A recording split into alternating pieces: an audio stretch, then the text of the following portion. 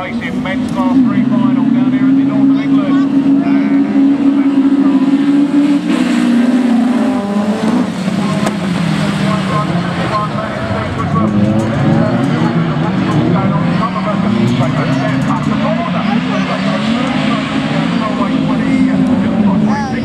Andy McCormick down on one of these 25.